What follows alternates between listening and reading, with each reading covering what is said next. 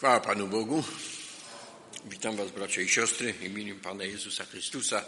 Myślę, że będąc na tym miejscu zgromadzeni, a szczególnie skupieni około treści słowa, możemy odczuwać i zrozumiewać to, że Bóg poprzez swoje święte słowo, poprzez Ducha Świętego tak puka do naszego serca, przypomina nam, kim jesteśmy, dokąd zmierzamy, jakie powinny być nasze oczekiwania, wiara, nadzieja, czy też postawy. A od tego, na ile mamy tę świadomość, zrozumienie i całkowite oddanie się do realizacji tego słowa, będzie uzależniona nasza wieczność. Nie ma innego wyjścia. Chciałbym również z Wami się podzielić Słowem Bożym. Dzisiaj wieczór Drodzy, kiedy tak ostatnio mm, zwracałem uwagę na treść listu apostoła Pawła do Tesaloniczan, tak utkwiło mi w pamięci i zatrzymałem się e, nad pewnymi zaleceniami, które apostoł święty Paweł przekazał dla ludzi wierzących w Tesalonice.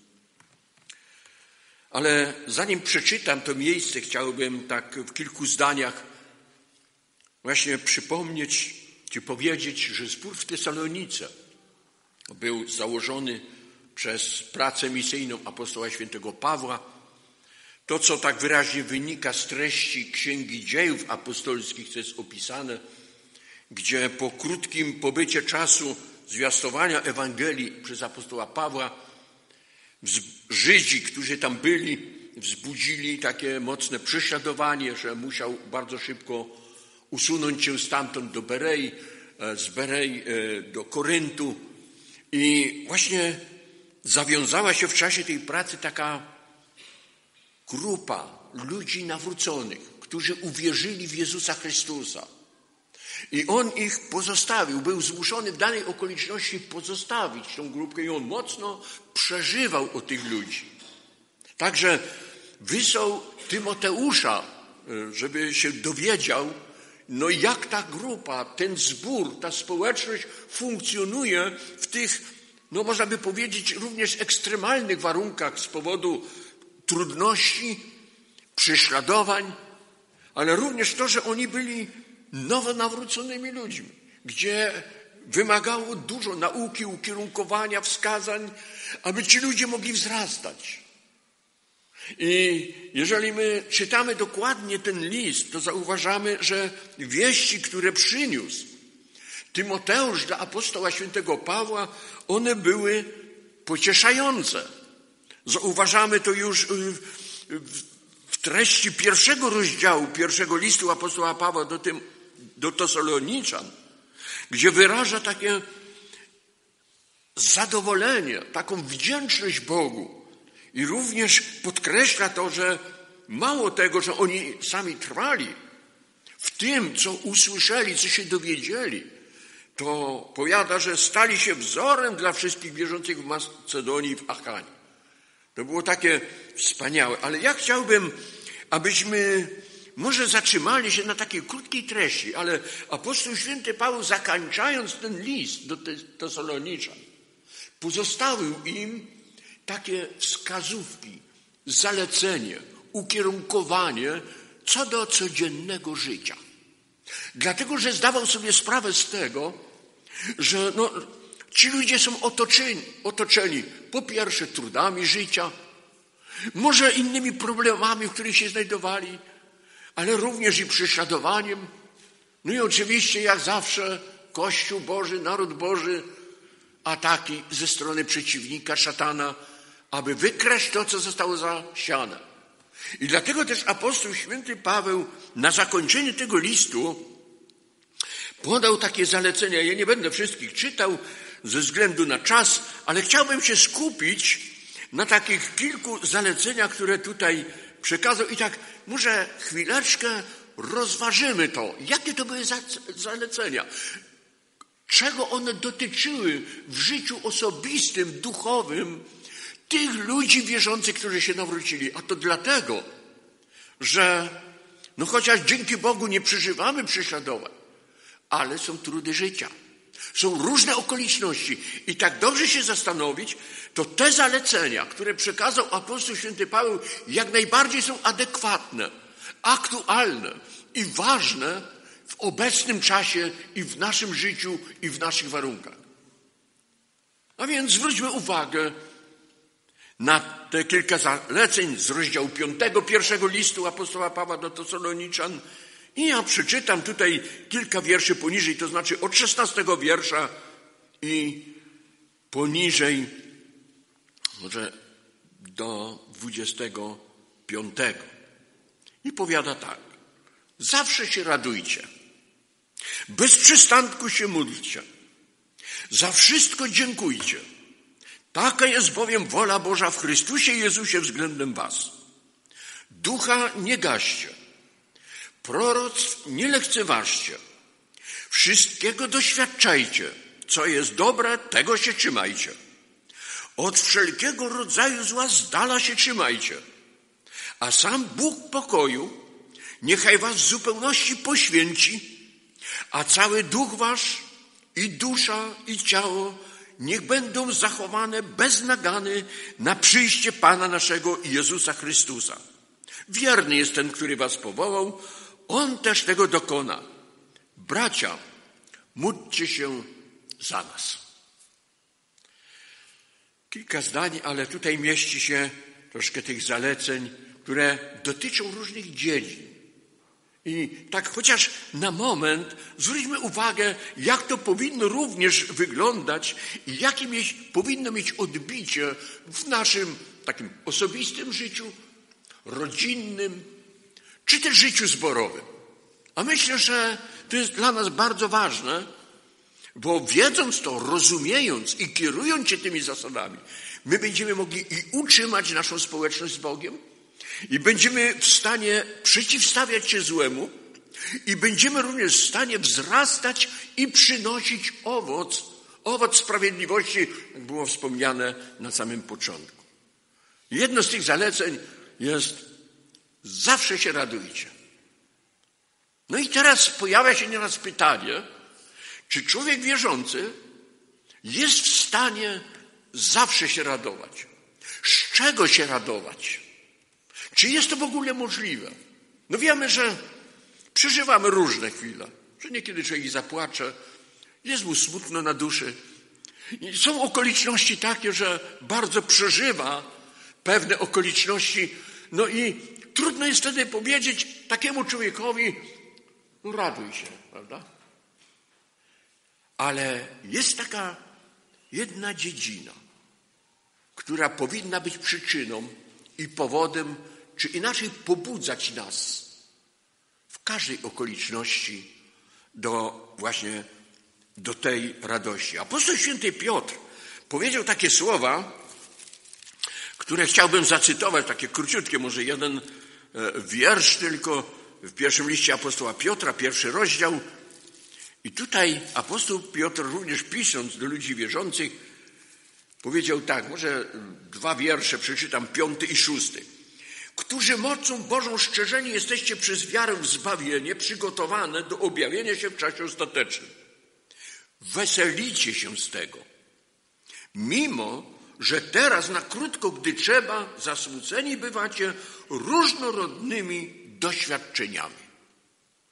I tutaj apostoł święty Piotr, pisząc również taką naukę i zalecenie dla ludzi wierzących, przypomina, że ze zbawienia, tutaj powiada tak, szczerzeni jesteście przez wiarę w zbawienie, przygotowane do objawienia się w czasie ostatecznym. To przyświecać powinno ludzie wierzącym. Zbawienie, życie wieczne, społeczność z Bogiem, kiedy przeżywają, to z tego się weselą. Cieszą się, chociaż w życiu przychodzi niekiedy, gdy trzeba, na krótko zasmucenie. Ale ten smutek, czy może to przeżycie, czy ta obawa nie powinna nigdy, że tak powiem, wyeliminować czy zneutralizować tej radości z powodu zbawienia nas i społeczności z Bogiem. Pan Jezus Chrystus powiedział takie słowa, żeby wypłakać i narzekać będziecie, a świat się będzie weselił, ale smutek wasz w radość się wam obróci. Dalej powiada tak, że Pan Jezus Chrystus, że tą radość, którą ja wam dam, nikt wam nie odbierze. I tutaj jednak chciałbym podkreślić to, że właśnie jak bardzo ważne jest, abyśmy pamiętali o tym, że chociaż nam jest trudno, chociaż niekiedy smutno, chociaż przeżywamy, ale nigdy, abyśmy nie zapomnieli, cośmy otrzymali od Boga. Jest to wartość nadrzędna, która powinna zawsze w nas powodować tą wewnętrzną, głęboką radość w Duchu Świętym wynikającym ze społeczności Jezusa Chrystusa. Drugie to zalecenie, w którym tutaj mówi to bez przystanku się modlić. I znowu niekiedy wynikają pytania ludzi wierzących, z czym ja się spotkałem, myślę, że i wyście się spotkali. No jakże to człowiek ma się modlić bez przystanku? Czy bez przystanku ma być na kolanach? Czy bez przystanku ma być w domu i tylko nigdzie nie wychodzić, czy też być w zborze i ustawicznie się modlić? Nie o to chodzi. Ale chodzi o to, jak może inne przykłady mówią Pisma Świętego, o wszystko się módlcie. I możemy tutaj przeczytać bardzo dużo przykładów, zaleceń, przykazań podanych przez Pana Jezusa Chrystusa psalmach, w nauce apostolskiej, że jednak modlitwa w życiu chrześcijańskim powinna zajmować takie naczelne miejsce. A na co chcę tylko zwrócić uwagę, ponieważ to jest bardzo szeroki temat. To, co podkreślam, o wszystko się módlcie. Może dzisiaj troszeczkę tak w naszym życiu zanika, że tak powiem, ten zwyczaj. Ale jednak, kiedy ja sobie przypomnę z swojego życia, ludzie wierzący wszystko zaczynali z modlitwą. Jakakolwiek sprawa przychodziła, to się pomodlili i szli realizować. Czy to w sprawach zawodowych, czy w nauce, czy, czy e, można powiedzieć w rodzinie, w gospodarstwie, czy w podejmowaniu jakichś prac, starań, rozpoczynali od modlitwy. Dlatego, żeby Panu poruczyć tę sprawę, poprosić o kierownictwo, o pomoc, o mądrość, o Jego działanie. I myślę, nie znaczy to, że jeżeli ja się pomodlił, to ja już nie mam nic do roboty. Nie. My poruczamy tę sprawę w ręce Boże, jak umiemy, wykazując tym swoją zależność od Boga, zaufanie do Boga, jak i również tą potrzebę Boga. I wtedy my realizujemy to, co tam świadomie jesteśmy, mówi Słowo Boże, czy daje rozsądek, czy okoliczności, sytuacja, my to realizujemy. Ale w tym Bóg pomaga i wprowadza. A jeżeliśmy Go poprosili, Panie, jeżeli moje plany, czy moje myśli nie są zgodne z, twoim, z Twoją wolą, to uczyń tak, aby była Twoja wola. I myślę, że to jest takie właściwe właściwa postawa każdego chrześcijanina. Trzecie takie zalecenie, które również jest dane i myślę dla nas jest bardzo aktualne, to co właśnie mówi, że za wszystko dziękujcie, taka jest bowiem wola Boża w Chrystusie Jezusie względem was. Już nie tak dawno było takie pytanie, tutaj jakieśmy rozważali Słowo Boże, no jak to za wszystko dziękować? No, dzieje się wiele różnych rzeczy, trudności i czy nawet stanie się jakaś tragedia, sytuacja czy coś, czy ja mam za to Panu Bogu dziękować? Drodzy, Słowo Boże, ono nam mówi za wszystko, co otrzymujemy od Boga, co wiemy, że to jest Boże kierownictwo, Boże działanie, Boża pomoc, powinniśmy dziękować. Oczywiście nie będziemy dziękować Panu Bogu, jeżeli no, stała się tragedia jakaś, chociażby w rodzinie. No, Panie Boże, dziękuję Ci, że mojej żonie czy mężowi się to czy tamto stało. Myślę, że to właściwie rozumiemy. Poruszamy w ręce Boga. Ale chcę tutaj powiedzieć, żebyśmy umieli zauważać Boże kierownictwo, Boże błogosławieństwo, Bożą pomoc i za to Jemu ustawicznie dziękować. Można, można by podawać przykłady takie, że Bóg oczekuje wdzięczności. I wiele rzeczy, których my otrzymujemy i doznajemy od Pana, i my niekiedy tak przyjmujemy jako normalne. Jest dobrze, tak, no dobrze jest, dobrze było. Postarałem się. Ale żebyśmy pamiętali, Boże, dziękuję Ci za to. Nawet za ten kawałek chleba, który biorę do ręki, aby spożyć, aby umieć podziękować. I o to tutaj również dla apostoła Pawła chodziło, bo tu jest powiada, taka jest bowiem wola Boża w Chrystusie Jezusie względem was. Następne zalecenie, na które chciałbym tutaj zwrócić chociaż króciutką uwagę, to mówi, ducha nie gaście. Ducha nie gaście. A więc, kiedy myśmy otrzymali ducha Bożego, ducha świętego, który ma pałać w naszych sercach, że apostoł święty Paweł mówi w liście do Tymoteusza, że zalecam ci, abyś rozniecał na nowo dar ducha, aby nie gasić ducha. To ważne jest to, że od nas jest to zależne.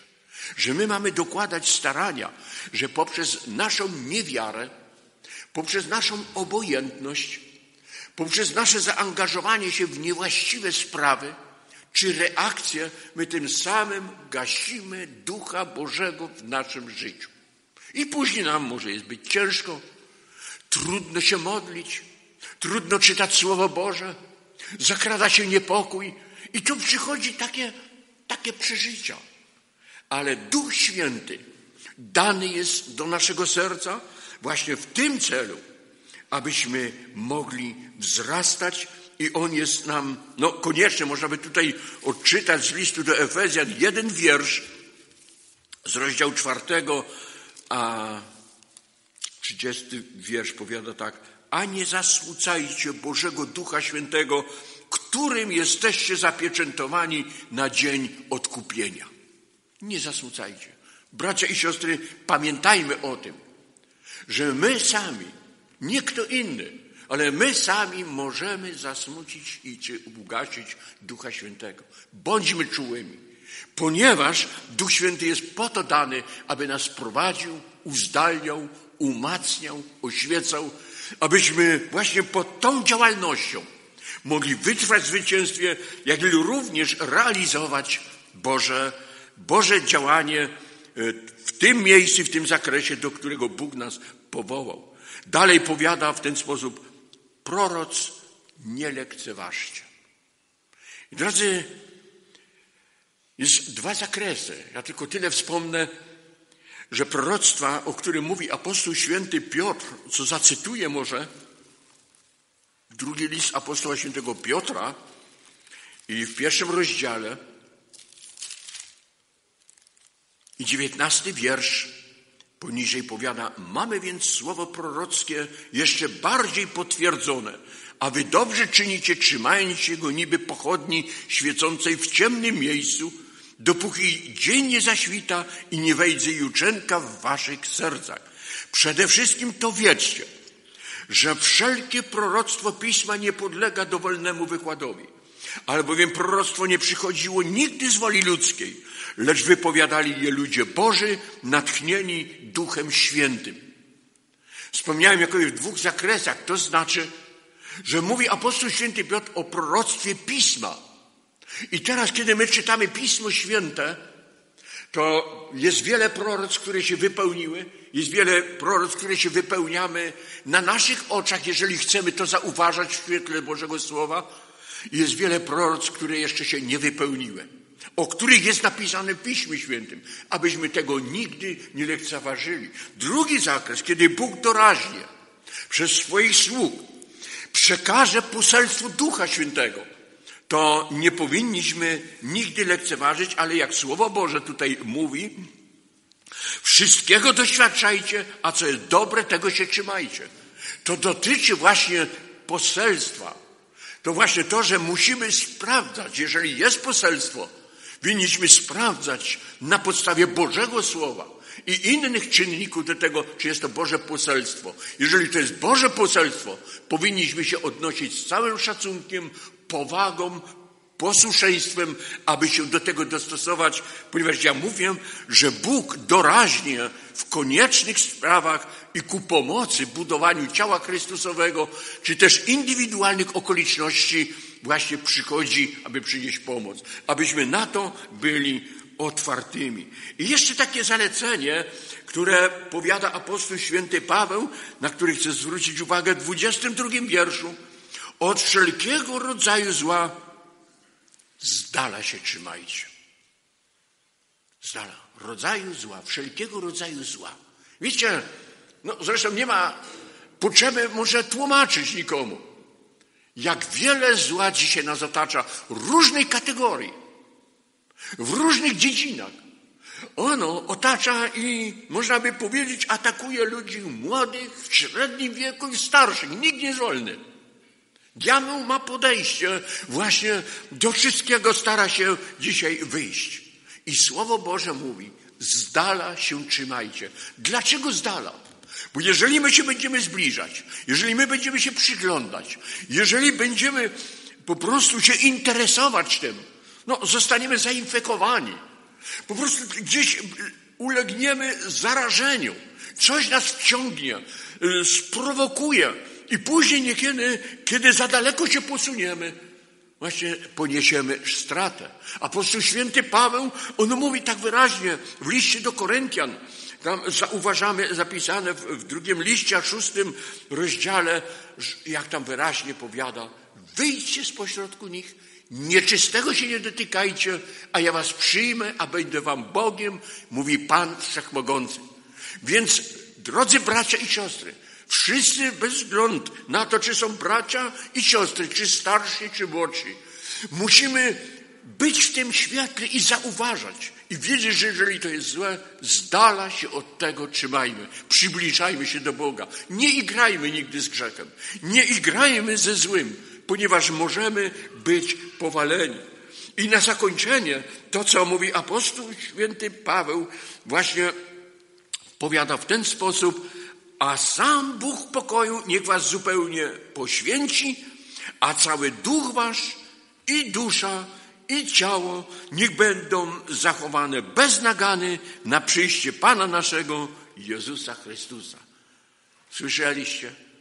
Tu nie tylko serce, ale mówi cały duch wasz i dusza i ciało niech będą bez nagany. Apostoł Paweł w liście do Koryntian przypomina, czy nie wiecie, że ciała wasze są mieszkaniem Ducha Świętego? Że nie należycie sami do siebie? Drogoście kupieni. Drogoście kupieni. Bracia, drogo zostaliśmy kupieni. A jeżeli ktoś nas kupił, to do Niego należymy, nie sami do siebie. I właśnie musimy się liczyć z tym, co nasz właściciel, nasz Pan i Jezus Chrystus oczekuje od każdego jednego z nas. A myślę, że Duch Święty, Boże Słowo, działająca łaska nam pomoże w tym zrozumieniu. Chciałbym Was, drodzy bracia i siostry, zachęcić ten czas ku temu, abyśmy mogli przybliżyć się z modlitwą do Pana Boga.